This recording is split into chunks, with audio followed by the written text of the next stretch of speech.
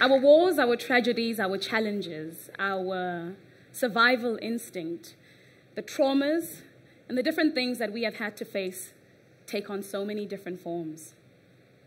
Yet our need for protection, our love for life, the resilience and the ability to overcome, the want to overcome, can be so similar in human spirit.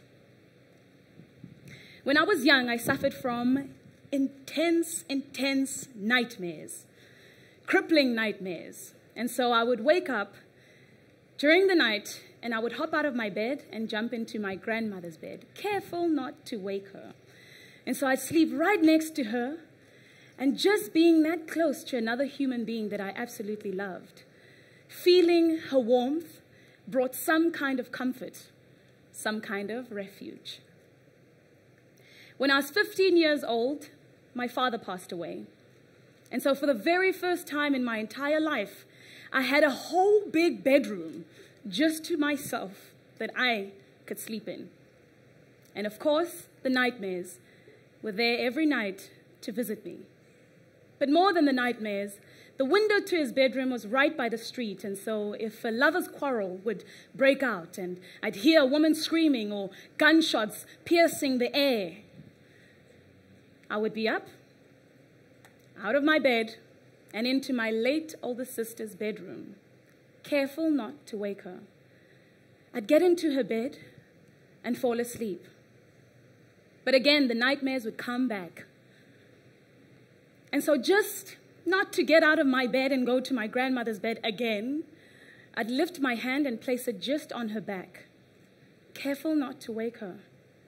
And just the feeling of another human being next to me brought some kind of comfort, some kind of refuge. Sometimes I curse my name because my name means she who strives, she who endures. Against all odds, I was named by my grandmother. My father passed away and he died of AIDS. But I find service and I find honor in that in his last days I was there to take care of him, making sure to change his nappies. My grandmother passed away, and I was there to take care of her. I remember those last moments as a moment of not just refuge, but a moment of knowing that someone somewhere was going through something much deeper.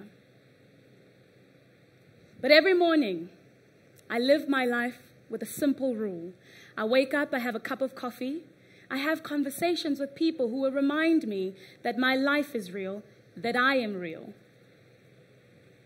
I don't have conversations with people who will make me believe that life after this moment, that life after tomorrow is not possible. Because I, every day, I need someone to remind me that I am real. My life is real, and everything that I have survived is real. Betty's life is real too. Betty is my friend. Hi, Betty. Betty is my friend. Betty is from South Sudan. She is a refugee, and she is thriving. Betty is a mother, she is a sister, she is a friend. Betty is pregnant, heavily so. But Betty is also a mom to a three year old toddler, and his name is Marcello. Marcello is possibly one of the brightest three year olds that I have ever encountered. And in their home, something beautiful hangs against the muddy walls. It is a heart shaped tinsel that they made for Marcello when he was celebrating his third birthday. Kind of like Victoria, in the south of the Hamptons, who has a stunning chandelier as soon as you enter her entrance hall, darling. Marcello does something very smart. Not something he invented, but I think he saw his mother do one too many times. Oh, that's Esther, by the way. The little girl, she's here.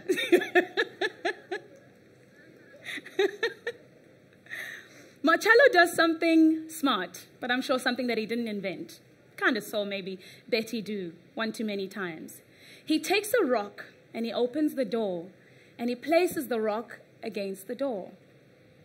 It's nothing genius, But it's something so brilliant for a three year old. It speaks about his observance. Betty smiles and looks down at Marcello. She rubs her belly. She walks over to her neighbor's house, Elizabeth, and they speak about the brilliance of children. Kind of like Victoria, all the way in the Hamptons, who sees her son do something brilliant. And she shouts downstairs, Oh, darling, oh, darling, come see your son. He's at it again. Betty and her neighbor will speak about the menial things, about how well the vegetable garden is growing, or how hot the sun is today. Maybe that day, potential donors will come to Betty's house and they will ask and prod and look. They will look at Betty and they say, What do you need? And Betty will not ask for a car.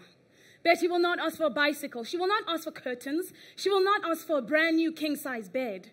No. Betty will simply rub her belly and smile and say, All I need is for Esther to come out now because I need sleep. but if you ask Betty's neighbor what she needs, she'll probably tell you, I need a solar light so that I can be able to see into my home because when it's dark, I keep bumping my things. And God forsake if I bump my last bowl of sugar. Kind of like Margaret in Mayfair, London who experiences a, a power outage. And God forsake, if she bumps her favorite urn, all hell will break loose. So you see, our challenges are different. Yet they are the small things that make us so similar.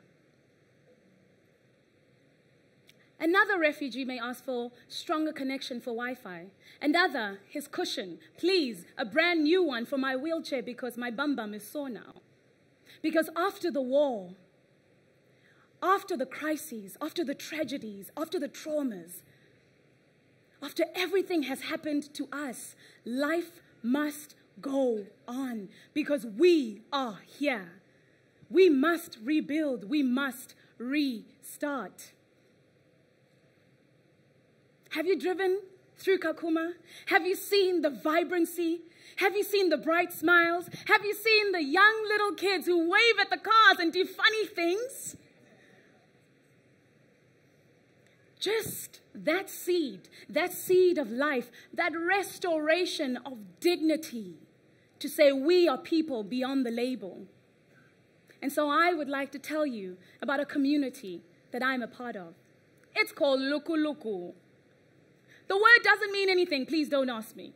But I think somebody clever made it up.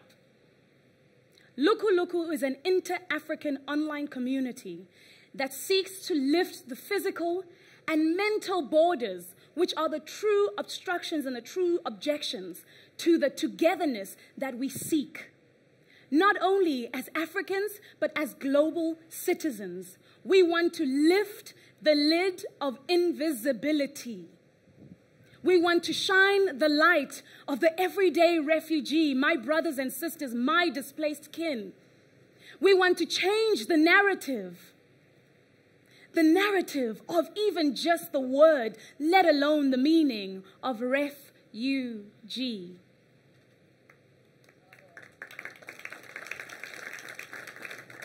We believe that our common language our common language is the ability to overcome. Our common language is resilience. Our common language is hope. Our common language is togetherness. But most importantly, our common language is L O V E, love. And so we are here. We are here to say that our displaced brothers and sisters, our displaced kin, say, please don't walk into my muddy home and look at the walls with droopy eyes and sadness. No, do not miss the history because I have a portrait of my husband and I getting married. I have a heart shaped tinsel that I made for my son when he turned three. Question me about that Ask me about the fact that this home has birthed love, has birthed joy and laughter and turmoil and triumph.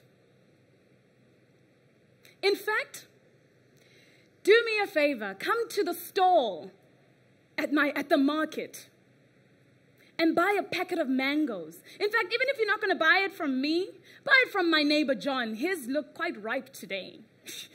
so he's giving me tough competition. Even if you're not going to eat those mangoes, oh, lest you contract some kind of disease in disease ridden refugee camps.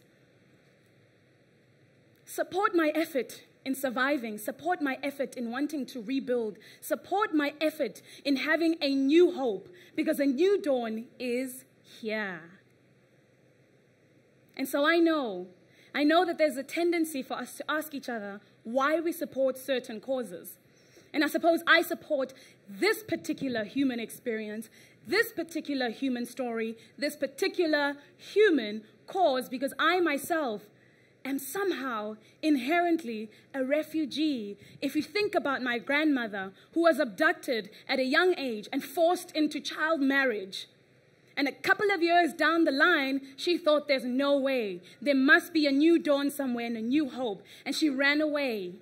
And she started in a new land amongst a new tribe that was very averse to her kind and rebuilt. And that here I am, the generation that is still watering the tree of the seed that she planted. One of my favorite, favorite things about her and lessons that she taught me. She had a thing for broken mirrors. And of course, as a child, I'd say, but Gogo, why don't you just throw it away? What's the purpose of it? And she'd always say, pick up that mirror, look into it. Can you still see your reflection? And I'd say, yes. And so she'd say, You see, even in its broken form, it still serves its purpose. It still does what it must do. It can reflect an image and reflect a light. Dharma. Dharma is a Hindi word that means purpose.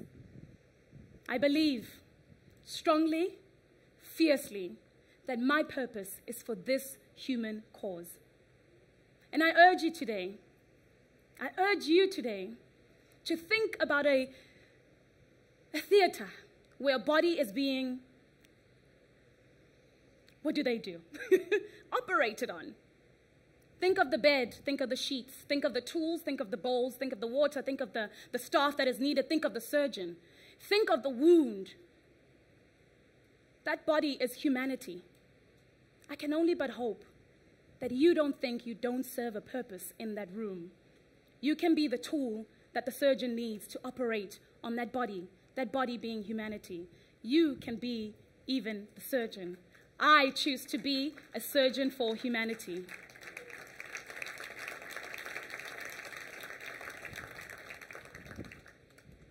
And so when we leave today, I hope that we remember to lift the lid of invisibility, to know and to believe that destitution will have to find a new home because it will not be in Africa anymore. I hope we believe in what LuQuLuQu stands for, that our common language is love. And I hope that we can lift, lift the borders of the mind and begin to see each other as one, as global citizens. And that our Dharma is more similar than we think, more than you think. So, what's your purpose for being here? What role are you playing in the operating room? Goodbye, surgeons of humanity.